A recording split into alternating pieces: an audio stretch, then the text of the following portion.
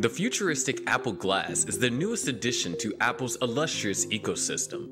These glasses will make use of the upcoming augmented reality technology, AR, which should not be confused with virtual reality, VR. It combines digital items and processes with the natural environment around its user. In contrast, virtual reality is a completely simulated environment in which users may interact with digital things. Apple is hardly the only company to recognize the potential of AR capable glasses. Google and Microsoft have each attempted to create their own AR spectacles. Google Glass initiative was shut down in 2015, largely owing to the device's poor public response. The design was disliked by users, and they believe it was cumbersome and overpriced. In the end, most users recognized that such a gadget was unnecessary, at least at the time. Microsoft HoloLens, on the other hand, is still in development and might provide direct competition to Apple. Apple Glass is not to be confused with Apple VR, which is a completely separate device. Apple is also working on a mixed reality headset, though specifics are scant. Apple Glass is a true augmented reality gadget. Augmented reality is not a new concept. Remember the popular smartphone game Pokemon Go? It too uses augmented reality to engage players and catch Pokemons. But Apple Glass has a completely different aim in mind. They aim to incorporate it into your regular routine. So for example, you may go through your text by swiping as you eat your breakfast without looking at your phone. When combined with other Apple gadgets, it might be a wonderful creative outlet for productivity, such as utilizing Apple Glass to imagine altering the interior of your home. According to Apple, the design principle of Apple Glass is to bring all the information from your phone to your face. They are specifically looking for Apple Glass to sync with an iPhone and show things like text, emails, maps, and games across the user's field of view. And they want it all to work within the Apple environment. They have already connected to other Apple devices. Apple also intends to enable third party apps and is exploring the creation of a separate app store, in the same way you can acquire apps for the Apple TV and Apple Watch. But as we learn more about technology underlying the Apple Glass, it becomes more interesting. One such aspect of the Apple Glass is what is known as optical subassembly. According to the patent submitted by Apple, they want to employ Apple Glass as a in-headset vision correction device, eliminating the need for the wearer to wear prescriptive glasses beneath their Apple. The patent specifies this optical subassembly will automatically compensate for persons with weak vision. The necessity for a fresh prescription will be obsolete since gadgets such as Apple Glass will be able to adjust their optical qualities on the go. According to another patent, Apple Glass would also allow users to modify the backdrop of items they see on the fly, in the same way you may change the backdrop in a video conference call on applications such as Zoom and Microsoft Teams. Apple Glass will use photos from its camera and color range detection to create a composite and then digitally insert virtual content. So if you were gazing at a wall, Apple Glass might begin displaying your calendar while you browse. On the right side of Apple Glass, there will be a LiDAR scanner.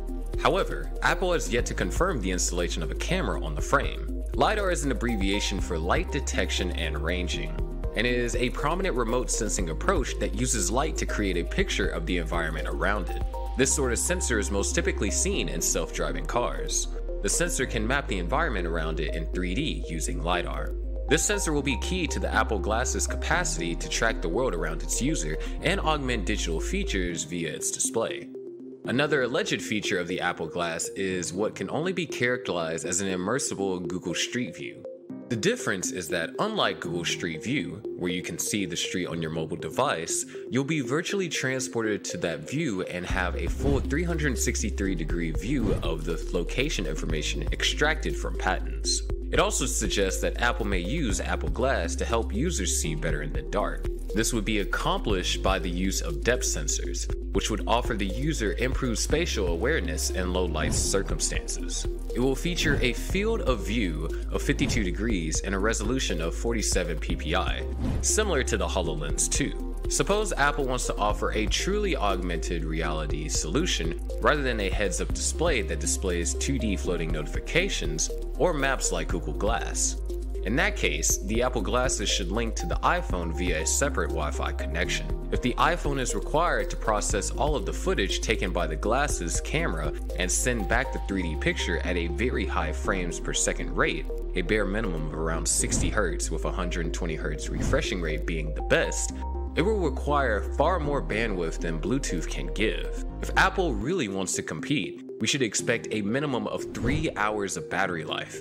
However, we can imagine that users will be more forgiving, especially if Apple includes a wireless charging glasses case that can extend the device's operational time throughout the day, similar to Apple AirPods. Smart displays, wireless signals, microphones, fast computers, and LiDAR combine to create a device that requires a large battery. If Apple wants to create a device that everyone wants to wear, it must look attractive and perform well. Apple will have to compromise between a large battery and a host processor. Processing power is one area where Apple can save money. Like the first generation Apple Watch, smart glasses could rely on the iPhone for all its processing needs and just show that data. Apple will drastically reduce local processing by passing information from the phone to the glasses, leaving only the display and sensors to worry about. Apple's AirPods are an excellent example of a small item with long battery life. The AirPods Pro, despite its diminutive size, has a long battery life while using ANC. If the prototype devices are sleek, as Prosser claims, Apple may have already overcome its battery life design issues. The glasses will have to serve the client as a piece of technology and fashion, but they will also need to perform a third role for many people. They will need to work like glasses. Apple is likely to include a prescription lens ordering option, but a patent describes another possibility. The lenses themselves might be able to adjust to the person wearing them. Apple is looking into a few different ways that Apple Glass recordings can be made evident to bystanders who don't want to be caught on camera. Apple is looking into the possibility of making the camera module detachable. The modular accessory will allow venues such as clubs and theaters to prohibit the modular accessory while permitting the HMD frame without the attachment into the venues. Apple also envisions employing lights to indicate when the device is recording. Although, unlike previous smart glasses, attempting to do so may result in the camera failing completely. According to the patent, the camera's lights might pulse in an encrypted pattern, with the lens collecting reflections in the recorded environment. According to Prosser, Apple glasses are now priced at 499 plus prescription expenses. Compared to the other augmented reality headset like the Microsoft HoloLens 2, this may appear affordable. The HoloLens 2 costs $3,500, including all the necessary gear for the augmented reality experience. The Vuzix Blade, on the other hand, has a starting price of $799. Apple's entry point is significantly less pricey, costing roughly the same as some of the company's most expensive smartwatches. According to Ming-Chi Kuo, Apple glasses will be released after an Apple VR headset. The VR headgear will be available in 2022 while the glasses will be available in 2025.